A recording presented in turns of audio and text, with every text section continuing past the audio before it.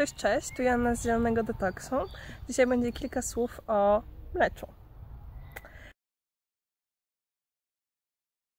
E, na pewno kojarzysz mlecz, e, nazywany tak przez wszystkich powszechnie.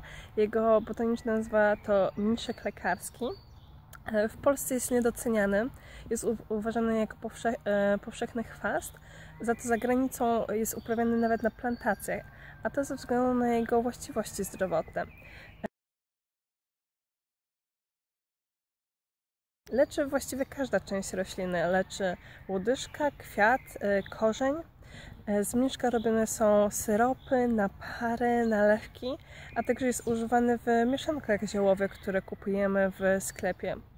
A to ze sprawą kilku właściwości. Jak ja korzystam z dobrodziejstw mniszka? Aktualnie zbieram główki kwiatów w taki oto sposób. E, jeżeli e, nabierzecie wprawy, idzie to naprawdę szybko na dwie łapki. E, dalej co z tym robię? Kupuję na targowisku miód płynny, tak jak tu widzicie. I mam słoiczki. W słoiczku są właśnie kwiaty z mniszka. Układam je w całości i zalewam płynnym miodem, który tu już widzicie. I taki miód u mnie leżakuje koło tygodnia.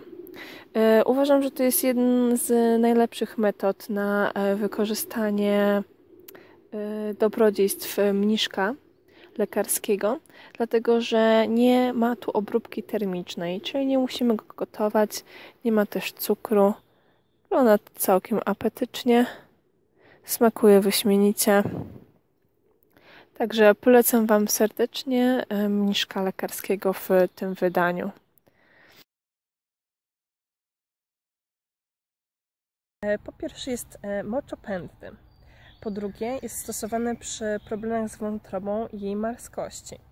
Po trzecie, jest świetną substancją podnoszącą e, wydolność naszego organizmu i zwiększającą naszą odporność.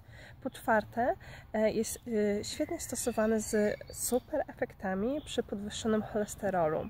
Także sprawdźcie przepisy na mniszka z lekarskiego. Teraz jest na niego sezon, jak widać naokoło jest wszędzie. Polecam Wam go serdecznie i zapraszam do subskrybowania mojego kanału, jeżeli chcecie dowiedzieć się więcej ciekawostek roślinno-ziołowych. Pozdrawiam Was serdecznie.